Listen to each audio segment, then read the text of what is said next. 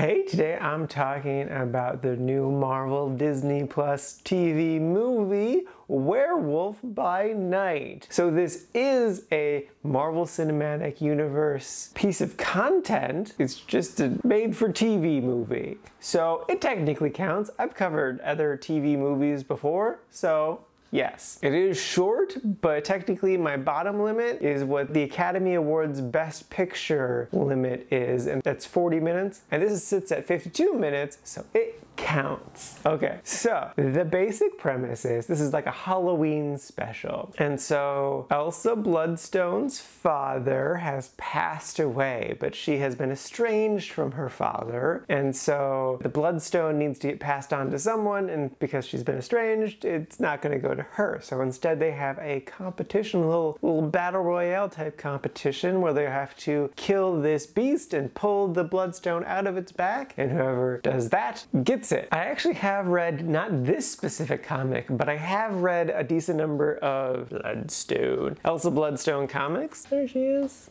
Look at that, so cool. So I was actually pretty hyped for this movie. This was actually pretty good. I actually, I enjoyed this a good solid amount. The style of the movie is definitely like the big takeaway. It's, it's filmed like a 1930s campy horror film and it's, it's beautifully done. They, they really nailed that aesthetic and vibe. The story moved at a nice solid pace. The action was good. The effects were really good. Both the werewolf looked great, but then also the big scary monster that's in this. His effects look really, really good. And I just had a good solid time with it. I do have two complaints though. The first one has to do with Elsa. I mean, I am annoyed that she's not the main character, but that's fine. But it's more so, she doesn't have red hair. Like in every single comic I've seen her in, she has very bright red hair. Very bright red hair. Very bright red hair. Very bright red hair.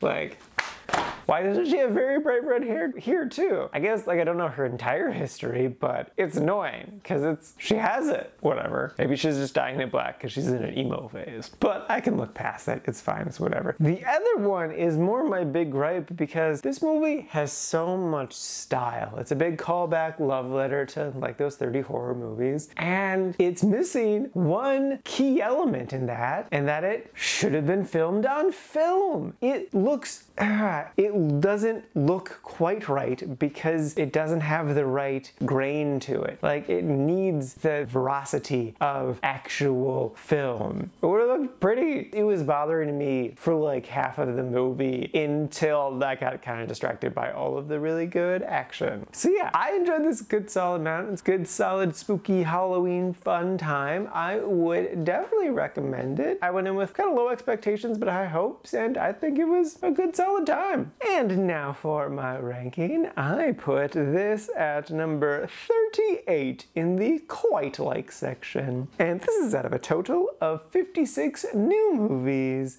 so far this year.